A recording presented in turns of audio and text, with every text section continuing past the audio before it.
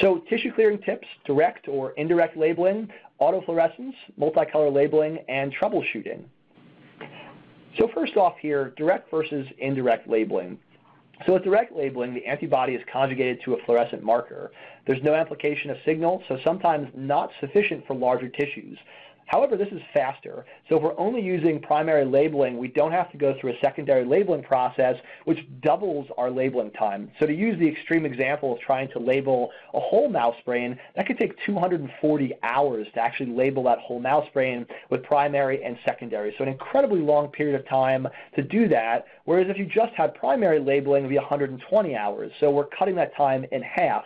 However, the problem with primary labeling is that for thicker tissues, you're not going to get enough signal back the deeper you go into your tissue. So you might get labeling to a millimeter in depth, but you might only have enough signal back to your detector that's over the noise of the background to get 100 or 200 microns of depth into your tissue.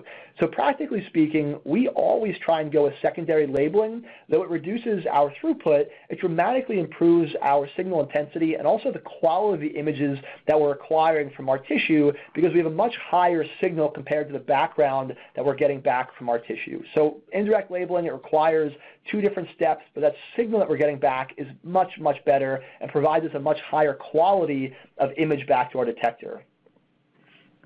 Autofluorescence is always a problem with any kind of fluorescent imaging that you're using because if you have a high background signal on your tissue, it doesn't matter how uniform your labeling is or how strong that intensity is, you aren't going to be able to see it because you cannot break it out from the background. And because of that, your image quality be very, very poor. We see this commonly for liver tissues, for kidneys, for tissues that are highly collagenous in nature, we get lots of background fluorescence.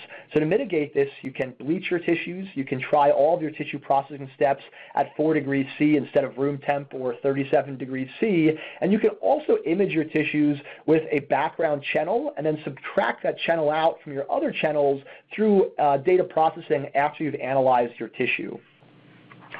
For multicolor labeling, we can typically go after up to four targets at the same time, depending upon your imaging system and the filters that you have.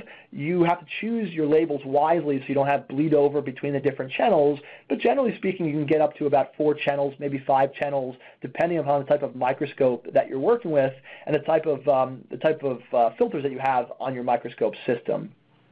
You must choose your primary and secondary antibodies carefully, though. You need different host species for each target. So example of two targets, GFAP and NeuN, we'd use a chicken anti-GFAP, Alexa Fluor 48 conjugated goat anti-chicken secondary, and then rabbit anti-NeuN with a Texas red conjugated donkey, uh, donkey anti-rabbit secondary. So primaries can be incubated simultaneously though, so we don't have to do this sequentially and dramatically uh, increase that time. So we can do those at the same time. And then secondaries can also be incubated simultaneously. So we're not having to go from two steps to eight steps. We can do those at the same time, even if we're using four targets, so long as we choose what we're doing for labeling very, very wisely.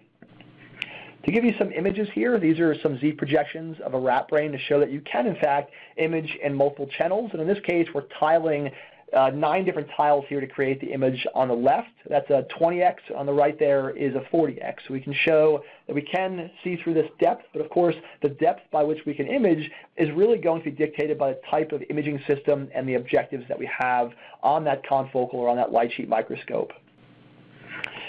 One of the troubleshooting problems that we see come up a lot, like I mentioned earlier, was uneven staining. So if our staining intensity is way too high on the outside of our tissue, like I'm showing on this 3D cell culture model on the top right here, what this typically means is our antibody concentration is way too high. They're getting stuck on the outside and we're not getting the ability to penetrate all the way into the interior of that 3D cell culture model, Whereas on the bottom, we have more optimal labeling, and we see labeling across the entire depth of that 3D cell culture model. So you'll a dense band of labeling on the outside, but no labeling on the inside, or very, very dim labeling. And this is an indication of um, uneven staining, and of course, um, not the right antibody concentration. So this is kind of a telltale sign. And with labeling and with tissue clearing, this is the most common problem that we see researchers come up to.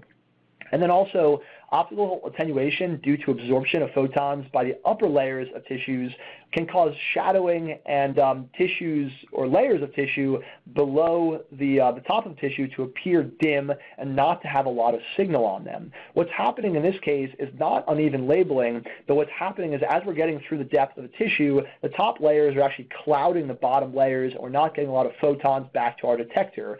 So one of the things that you can do with some microscopes to interact with this problem is you can actually increase the laser power as you go deeper and deeper into a tissue. So you're increasing that signal that you're getting back, not because the fluorescent labeling is not there, but because you're not getting the same number of photons back to your detector as you're getting higher in a tissue. So that's another problem that we see. That's not labeling induced, that's more so imaging and optical attenuation induced.